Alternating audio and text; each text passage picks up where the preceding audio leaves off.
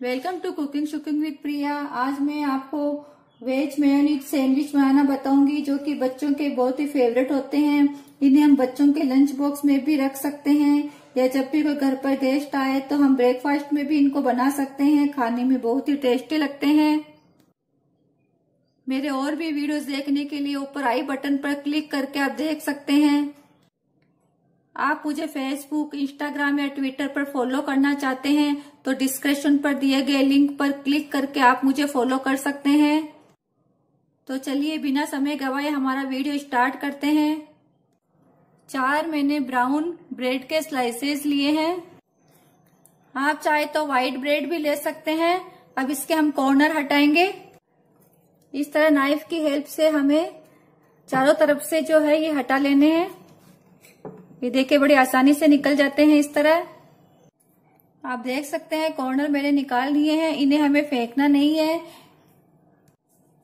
इनसे हम bread crumb बना सकते हैं। तो चलिए अब हम स्टफिंग तैयार कर लेते हैं। स्टफिंग बनाने के लिए एक बाउल लिया है, उसमें मैंने वन कप ककड़ी ऐड की है।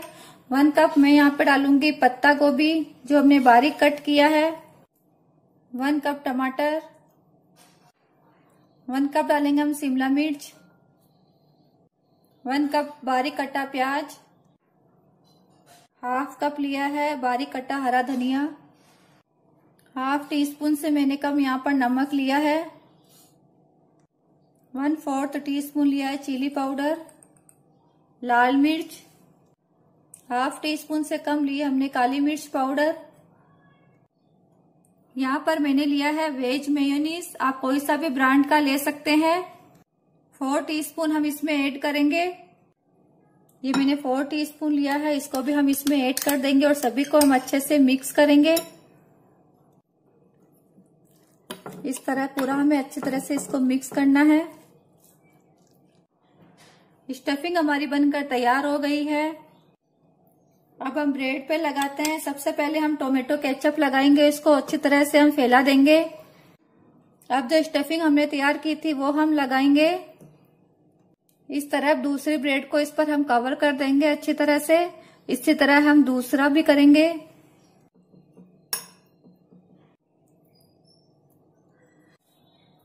दोनों को हमने तैयार कर लिया है। अब इनको हम तवे पर सेकेंगे। गैस को ऑन कर दिया है और गैस पर मैंने तवा रख दिया है।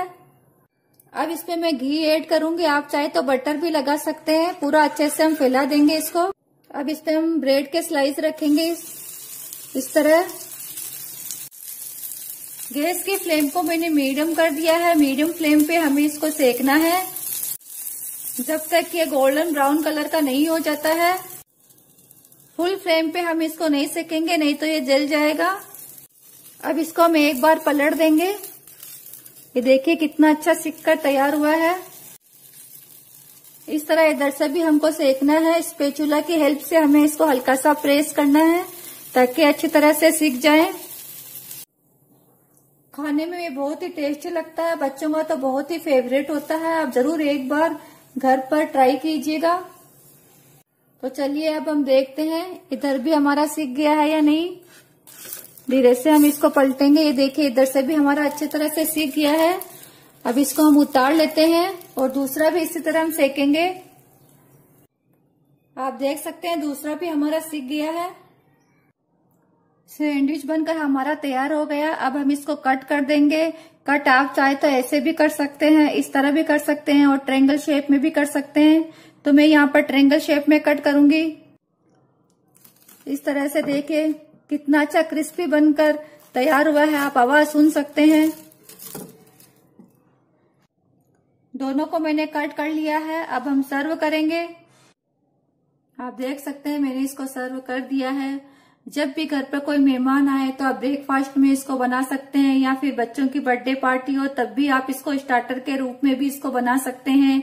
खाने में बहुत ही टेस्टी लगता है, बच्चों का तो बहुत ही फेवरेट होता है ये। आपको मेरी ये रेसिपी पसंद आई हो तो प्लीज़ मेरे चैनल को सब्सक्राइब कीजिए वीडियो के नीचे लाइक का बटन क्लिक कीजिए शेयर कीजिए और कमेंट करके बताएँ कि आपने जो सैंडविच बनाए हैं, वो कैसे बने हैं। Thank you for watching my video आपका दिन शुभ रहे।